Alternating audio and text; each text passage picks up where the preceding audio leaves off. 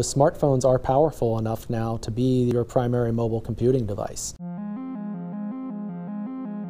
You can do everything on a smartphone that you would do on a laptop.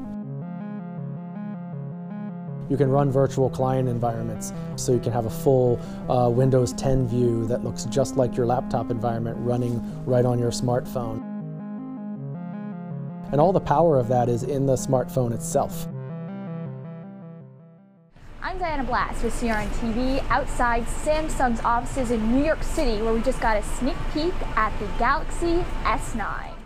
What I've got is a, um, a ticket price guide uh, that's in Italian. No setup required, just point your camera where you need answers and the phone will instantly detect and translate the language. It's showing me that same information in English. It's one of many features that has Samsung pitching the Galaxy S9 as the camera reimagined. I'm most excited about the, the range of, of new capabilities and features that we're adding to the device. I'm in the, the makeup mode. Samsung's intelligence platform known as Bixby is integrated into the camera.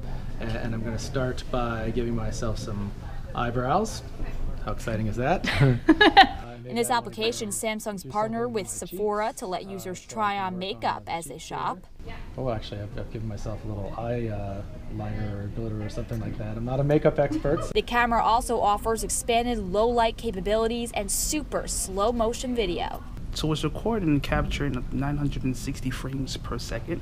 The phone will even add background music to set the scene. So if it's a very active experience, the music will be a little bit faster and more energetic. And then how do you make these into GIFs? So what we can do now, we can actually go into our gallery and they populate over here. So and then there's Dex, the platform transforming your phone into a desktop. Two fingers holding down will move the window. Samsung updated the dock to allow for the phone for to be example, used as a touchpad.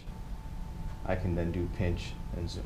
The Galaxy S9 is also the first smartphone to support the new SmartThings app, a central hub for users to manage other Samsung or non-Samsung connected devices. It's part of the tech giant's push to make all devices intelligent by 2020. SmartThings now becomes a centralized source for how I control and, and manage and get access to all of these other devices. Now, the phone officially launched at the Mobile World Congress event in Barcelona on Sunday. Pre-sales start on March 2nd, and the phone officially goes on sale March 16th. No word on the price.